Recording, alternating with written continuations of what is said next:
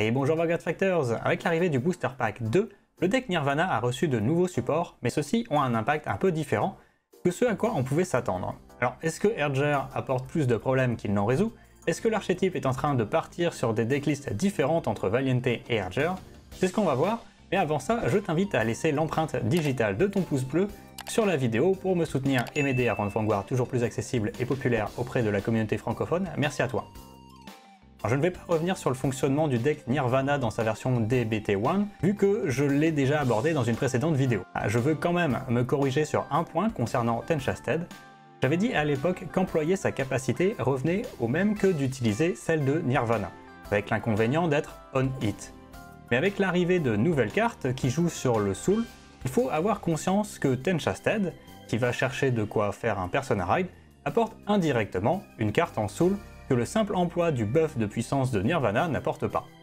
De plus, comme Erger fait attaquer au préalable deux unités qui n'ont pas la capacité Overdress, l'apport en puissance d'un Persona Ride sera plus intéressant que celui de Nirvana. Alors ce petit erratum introduit bien le problème qu'amène Erger. Si on veut le jouer, il modifie fortement la logique du deck. Mais est-ce que c'est bénéfique ou non? Pas forcément. Le point le plus problématique de Nirvana est sa faible capacité à obtenir les cartes de ses combos notamment parce que contrairement à d'autres decks, il n'a que peu de possibilités de faire revenir des cartes, ou de superior call, ou de piocher en masse. La victoire ou la défaite du deck se décide souvent sur l'obtention d'arcs, ou le check de draw triggers. Le deck est tout simplement très gourmand en cartes. Un autre point problématique du deck est sa rideline qui semble ne pas servir à grand chose. Tout le monde aurait préféré que l'effet de Ryu permette d'aller chercher n'importe quelle Vairina, au lieu de se limiter à celui de base. À la place, le nombre de Vairina se réduit petit à petit pour ne plus être joué qu'en un seul voire deux exemplaires dans les decklists intégrant Erja. Autre point faible, et qui a été résolu en partie avec la Festival Collection et qui le sera complètement avec la DPT2, la génération de ressources. Alors il n'y avait rien pour remplir le soul ni counter charge, ce sera réglé avec Mirin, Togachi Arashi, Erger et Gojo. Une première question que pose Erger est de savoir ce qu'on va faire de ses ressources, hein, notamment le Soul. lui-même en consomme 2 pour sa capacité, ce qui vient concurrencer Vairina classique, et réduit les occasions d'employer les capacités des autres cartes qui en ont besoin, comme le nouveau Blitz Order. Sans oublier qu'Erger se promènera rarement sans Damari, qui lui-même requiert un Counter Blast et un Soul Blast. Côté Counters, heureusement qu'Erger en redonne lui-même et que Gojo est arrivé, parce qu'entre Damari, Nirvana, Arx, Valiente et Techasted, ça commençait à faire beaucoup. Deuxième dilemme, la construction du deck.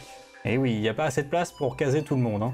à moins de vouloir partir sur un mix un peu bizarre avec des paires de cartes, qui à mon avis sera plus contre-productif qu'autre chose, en faisant partir le deck dans tous les sens, mais ne le fera avancer dans aucune direction. Alors ce point m'amène à penser qu'il y aura deux façons différentes de jouer Nirvana, soit avec Arger en misant sur des attaques multiples, soit avec le Vairina de base pour du contrôle. Le souci que j'ai avec ça, c'est que Nirvana devient concurrencé sur la première version par Overlord, et sur la deuxième par Eugène, voire aussi par Overlord. Et Valiente dans tout ça, qu'est-ce qui devient? Alors c'est la troisième question que pose Erger, est-ce qu'on a encore envie de le jouer? Contrairement à Arx, qui perd son bonus de puissance après un tour, et Vairina Vanilla, qui reste à 10 000 de puissance, Erger a l'avantage de passer tout seul à 20 000 de puissance. Et l'Overdress, par Valiente ne fait donc gagner que 3000 de puissance. Le seul véritable apport de ce maigre gain est de pouvoir passer les nouveaux front triggers qu'Erger, avec sa puissance seule, ne parvient pas à percer. Bref, avec tout ça, qu'est-ce qui est mieux? J'ai l'impression qu'Erger ne fait pas forcément mieux que Valiente, ou pire, il fait différemment, mais à ses propres soucis. Dis-moi ce que toi tu en penses en commentaire. Perso, je reste dubitatif et curieux de voir ce que vont proposer les joueurs Dragon Empire avec Nirvana, comme le Japon a déjà la DBT2, on devrait voir fleurir des decklists et des résultats très rapidement. D'avoir regardé, abonne-toi si ce n'est déjà fait, lâche un pouce bleu, et à bientôt pour de nouvelles vidéos. Bye